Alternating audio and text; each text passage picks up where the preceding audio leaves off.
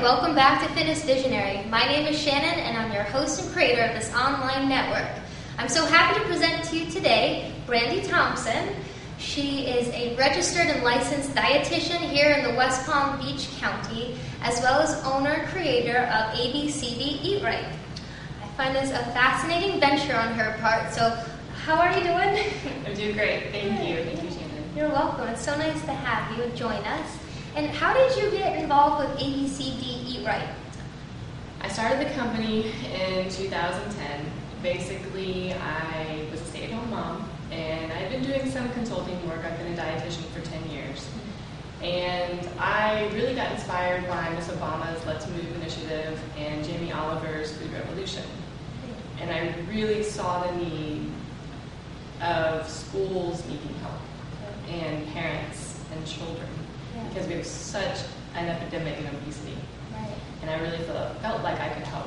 right. So that's how it started. Yeah, that's great. And and you have two children of your own, right? I do. I do. I have Jackson, who's five, and Olivia's two. Mm-hmm. And I have two kids too, so I'm just so interested to hear what she, what you have to say. I mean, as a health and wellness professional myself, you, I would expect myself to know a lot about nutrition, but I find myself even questioning certain things, you know, and having problems like in the store. You know, they're gravitating to all the colorful packaged things when I want them to have oatmeal, you know. Right. So it is. It is quite. It's it's tricky, as I say to my kids. Definitely. It's definitely a challenge. Definitely everywhere you go. I mean, whether it's a grocery store or to your parents' house, it's a constant challenge. Yeah, and even in the schools, I find it tricky because of birthday parties, uh, snack time. It's just it, quite a challenge. So I know um, you now in, got into the school systems, and you also work with pediatricians, and those are the most amazing things that I found when I was reviewing your website. So how did what inspired that? How did you go about that? Um, I started with um, more of the private schools in the area. They're a little bit easier, I guess, to, to talk to than the public school districts. Um, basically, the first one that I got into was my son's school. And so I approached the principal and I said, Can I help? Can I start a school garden? Can I, you know, come in and talk to your teachers? Can I come in and talk to the parents? And they let me. And so from there, I just kind of went with it.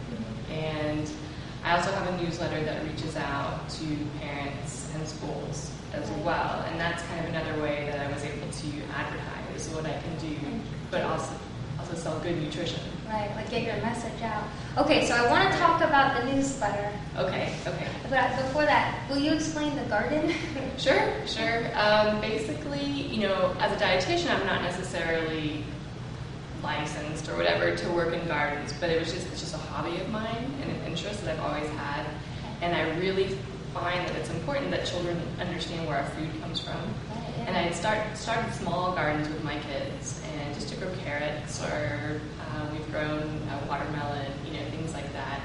And so I just approached the school and I said, you know, will you guys do this? And I had other parents that volunteered. They built um, um, the beds, the raised beds. I had another parent that donated all the dirt. I mean, it was it was great. I had great volunteer. I mean, all the parents were awesome.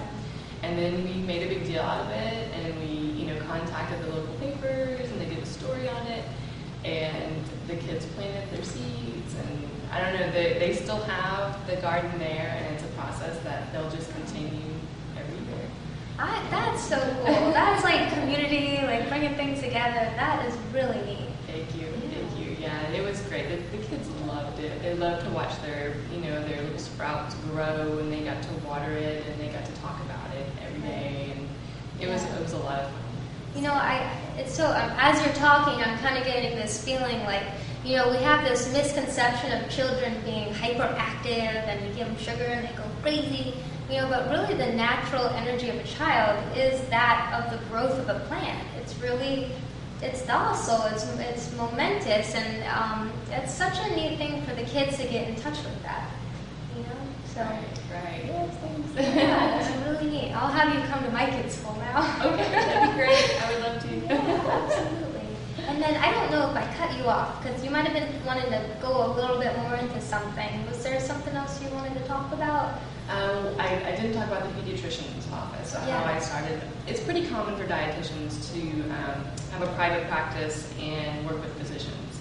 And what I did is I approached my children's pediatrician and I just said, hey, do you guys have a need for a dietitian? And she almost fell over and she was like, yes, we do. You know, and but they didn't know where to go, and I guess maybe dietitians that they used, you know, didn't quite have the kid niche down. So they um, they just have been referring me patients, and you know that's how. And then you know word of mouth spreads, and you know I can get into other physician offices eventually. Yeah, that's, that's a really specialized thing. Um, how did you find that with the pediatrician? Obviously, that one was extremely receptive, but there is kind of a gap between um, their schooling and their Western medicine mind. Bless their hearts, we need them, and also the gap with their knowledge and the nutrition base. Would you say so?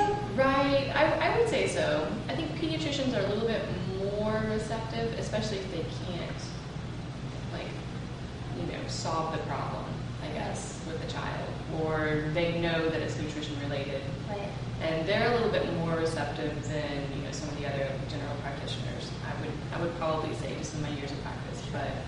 Um, but they're great, and, and really they've sent me more severe cases. They haven't really sent me like just maintenance, like how to eat healthy, you know, because sometimes they feel like they can just help them, and they have a pamphlet I think that they provide their patients. But Was that something you created? The pamphlet? no, unfortunately, No. they okay. yeah they actually developed it after I started working there, and so I'm not quite sure where Where they it came from. yeah. But they, they have you as a resource. And what do you what do you usually work with? Is it asthma or allergies? Food allergies, I work with a lot, and then just weight gain, like children that are underweight. You know, that, that's been a problem um, for whatever reason, you know, various medical reasons. Um, and and I did have one overweight patient too, Right. so borderline diabetic. Yeah. And also, if, if those watching are interested in getting individual consultation, do you do that as well? I do that as well. Yes, definitely. I'll come to your house, or um, we have we can meet in an office. Right. Yeah, that's great. I mean, I, you've got the gamut, so that's really it's a it's an inter- it's a specialized thing that she's doing, especially for our kids, because this day and age, life is moving fast, and you got to catch the kids early, get them on a good regimen of consciousness with their food, and then you can just kind of kick back and breathe a little bit as they grow up. It's like one thing, one front thing down. So. Um, you reach out to people, now, and you'll notice also on Brandi's website is information about her toolbox, which you can also purchase through her website. And you're going to talk a little bit about that too. Okay, that's great. That's something that I developed with a math teacher. Okay. And basically, we were trying to incorporate lesson plans for schools that deal with both nutrition and math or science related, Wow, so great. that they can incorporate that into their curriculum. Wow. So um, it also includes other things like teacher challenges, and which because really you have to get everybody involved. Right. You have to get the parents, you have to get the teachers, and you have to get the children. So we have teacher challenges, and then we also have parent um, education, like letters, like the schools can send home, and you know, here's how to pack a healthy lunch, you know, that sort of thing. Right. And the toolbox then is for the school itself? Right, the schools, schools purchase it, right, Okay. and then they incorporate the lesson plans into the curriculum. That's really neat. And then you also have an extremely successful newsletter too. How do we get into, how do we get to that? It's a free newsletter, and it goes out weekly. Um, sign up at, if you go to abcdeatright.com, there's a box in the left-hand corner that you can actually enter your name and your email, and you sign up. So, and it goes out once a week, and it usually has a recipe, a healthy tip, or a topic. This month we were talking about how to pack a healthy lunch. Okay. So that's kind of been an ongoing topic. And then snack ideas and exercise ideas Great. as well. Yeah.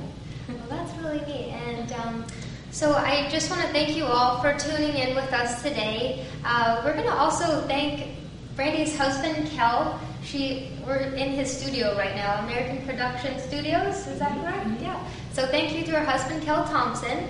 And again, this is Brandi Thompson, licensed and registered dietitian here in Palm Beach County, as well as owner of ABCD Eat Right. And I thank you so much for your time and your information, and I look forward to talking with you more with us. Thank you, Shannon. Yeah, you're very welcome. So uh, stay tuned for other information from Fitness Visionary. I am Shannon. Thank you so much.